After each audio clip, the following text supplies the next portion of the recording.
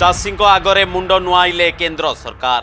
କୃଷି ଆଇନ ପ୍ରତ୍ୟାହାର ଦାବି ନେଇ ଏକ ବର୍ଷ ଧରି କୃଷକମାନେ ଆନ୍ଦୋଳନ କରିଥିଲେ। ବାଧ୍ୟ ହୋଇ କୃଷି ଆଇନ ପ୍ରତ୍ୟାହାର କରିଛନ୍ତି କେନ୍ଦ୍ର ସରକାର। କୃଷି ଆଇନ ପ୍ରତ୍ୟାହାର ପରେ ସାରା ଦେଶବ୍ୟାପୀ ପ୍ରତିକ୍ରିୟା ପ୍ରକାଶ ପାଇଛି। ପ୍ରତ୍ୟାହାରକୁ ନେଇ କିଏ କ'ଣ କହିଛନ୍ତି ଆସନ୍ତୁ ଦେଖିବା।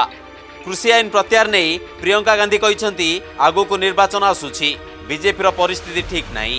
ନିର୍ବାଚନ ପୂର୍ବରୁ ଭୁଲ ମାଗିବାକୁ ଆସିଗଲେ। आंदोलन समय किसान ऊपर अत्याचार करूथले केंद्र सरकार। आज माफ़ी मांग रहे हैं?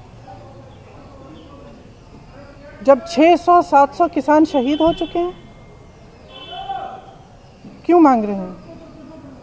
क्या ये देश समझ नहीं रहा है कि चुनाव आ रहे हैं?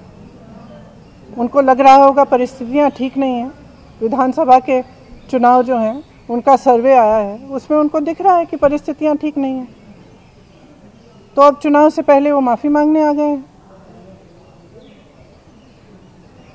तो देखिए, हमें समझना पड़ेगा। आज आप आकर कह रहे हैं कि ये कानून आप रिपील करेंगे तो हम कैसे भरोसा करें? हम आपकी नियत पे कैसे भरोसा करें? सब स्पष्ट है सामने है देश के। मुझे खुशी इस बात की है कि ये सरकार समझ गई है कि इस देश में किसान से बड़ा कोई नहीं है।